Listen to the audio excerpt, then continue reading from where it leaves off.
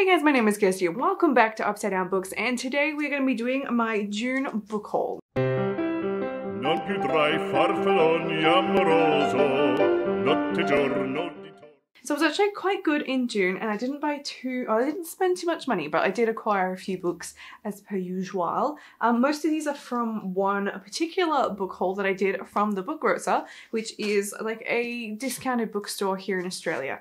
And um, uh, so the majority of the books have come from that haul, so they came at an extremely discounted price, which was awesome. And I'm really excited about all of them. So as always, let's start with my audiobook so I don't forget to haul that one. So the audiobook that I got in June is The Rose Code by Kate Quinn. This is historical fiction and it is set during World or two. I think I actually don't really know that much about it, or at least I have forgotten. So I believe that the main character in this one is set in England during 1940s, so when England is fighting the Nazis, and I believe that the main character is a female translator who is trying to decode and translate German secrets. I think it's gonna be really good. It's quite highly rated. It's a book that has been on my radar for 2021 releases, so I'm really looking forward to getting around to it. I've been taking a new approach with audiobooks, or I will be taking a new approach, where I'm trying to pick the best genre and the best stories for me whilst I'm driving as that's when I'm going to be doing most of my audiobook reading. And whilst I usually have got heavy fantasies, such as when I got Lord of the Rings, not that I've tried reading that one yet, or The Magician, or things like that, I find them quite hard to focus on whilst I'm driving. So I'm going to try and stick with historical fiction and with slightly lighter or less complex stories with less world building so that I can actually listen to the story whilst I'm driving. So I'm hoping that I can continue uh, with books that are in the similar vein to this one going forwards because I think that they'll be better suited for driving and reading. The next book I want to show you is one that I actually got in a subscription box. So I have been subscribed to a Perth-based, um, Australian-based bookish subscription box called the Fable Crate. Um, I'm not actually continuing with it just because I, I it's expensive and life, um, but I have from my last book got a really really pretty book and that is The Nature of Witches by Rachel Griffin. So this actually has a cover, an alternate cover that you might recognize, which is this one. But for collaboration with the subscription box, they have done this really pretty sort of floral theme. I don't know how fitting that is with the story. Um, and it is a little bit, it's very shiny. I prefer my covers matte, but that's okay. Um, I actually, it took me like a full month to realize that this was that book. I thought it was a completely different story and then I realized it was the same author. It just had a unique cover. So this is like a paranormal um, fantasy story. It's got, it's absolutely stunning with the cover off. So it looks like this when it is naked and it is absolutely gorgeous. So honestly, I would be in favor of taking the jacket off.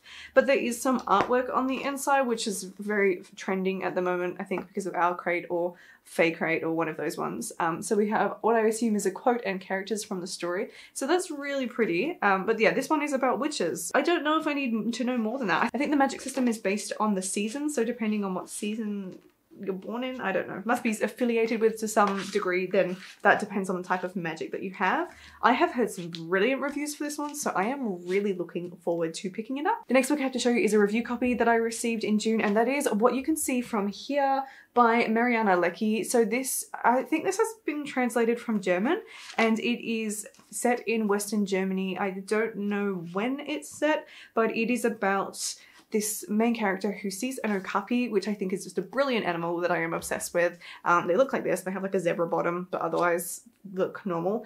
Um, and the okapi is uh, an omen of, of, of death. Someone is about to die soon. So the premise of this book is that this girl dreams of an okapi, sees a vision of it, and therefore knows that someone is about to die. So I'm really excited to read this. It came out at the very beginning of July, so this is available now to purchase. I was sent a copy from Bloomsbury, so thank you so much Bloomsbury for sending me a copy. I, I just, I can't wait to get into it. I think it's going to be quite an addictive little read, which should be Fantastic. So that brings me to the rest of the haul, which is from this big discounted book haul, and I am super excited to show you these books. So the first one is The Girl and the Stars by Mark Lawrence. I've had my eye on this for a really long time. I just love the cover of this one. I think it might be a retelling set in like Ice Age times. The blurb is a slightly abstract on this edition, so I'm not 100% sure, but um, the opening line says, East of the Black Rock, out of the ice, lies a hole broken children are thrown down. Sounds like quite um, dark there, but I have heard some good reviews about this one, so I'm hoping to learn more about it when I actually get around to reading it and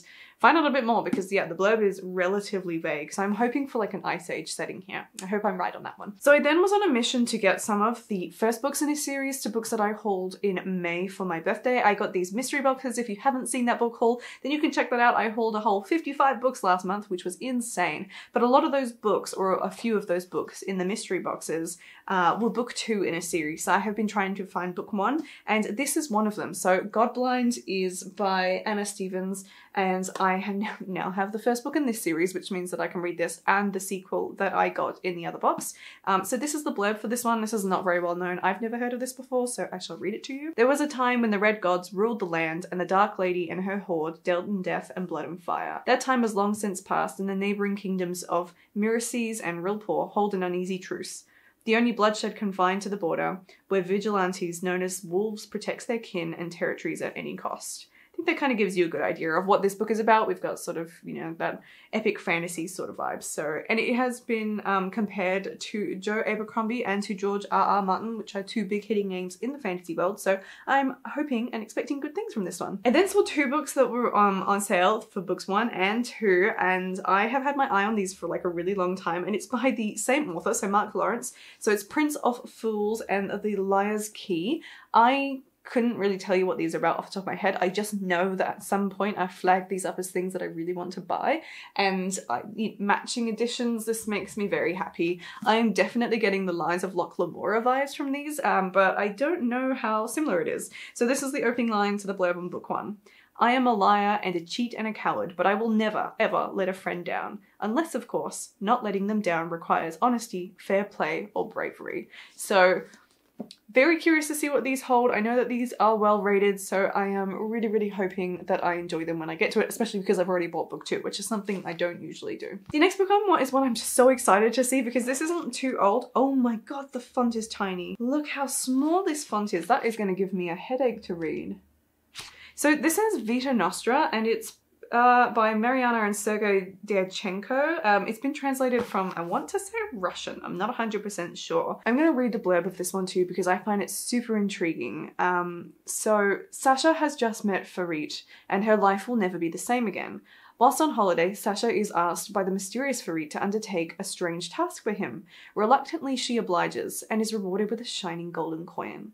The more tasks she performs, the more coins Sasha receives until Farit instructs her, against the wishes of her family, to travel to a remote village and use her gold to gain entrance to the Institute of Special Technologies. Sasha quickly discovers that this is no ordinary school. The books are impossible to read, the lessons obscure to the point of maddening, and the knowledge itself refuses to be remembered. Despite this, Sasha undergoes changes that defy matter and time, with experiences that are nothing like what she could have dreamed of before, but which are suddenly all she could ever want. But this learning comes at a cost. The school uses terror and coercion to keep students in line. Should they transgress at all, their families pay a terrible price. When I first read this blurb, I was super intrigued because it's really quite abstract, and I believe it is a retelling or some take on the folklore of whatever language slash country that this has originally been translated from. The next book I don't know much about, but I managed to get, it is one that I got um, because it's first in the series. I think I actually hold book five in the series in one of the mystery boxes, which wasn't spectacularly helpful. But this one is The Dragon's Path by Daniel Abraham. Um, so it is a huge fantasy book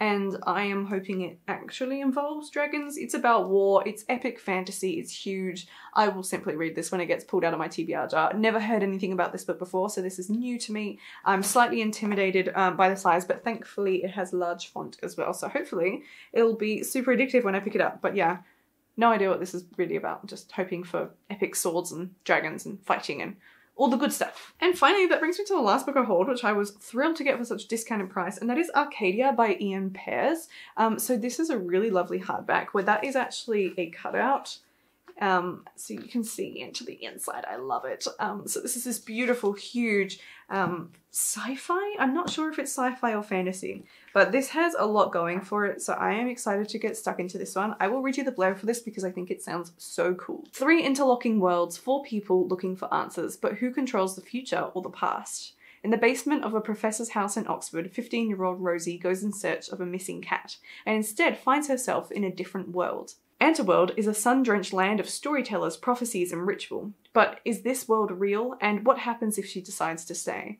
Meanwhile, in a sterile laboratory, a rebellious scientist is trying to prove that time does not even exist, with potentially devastating consequences.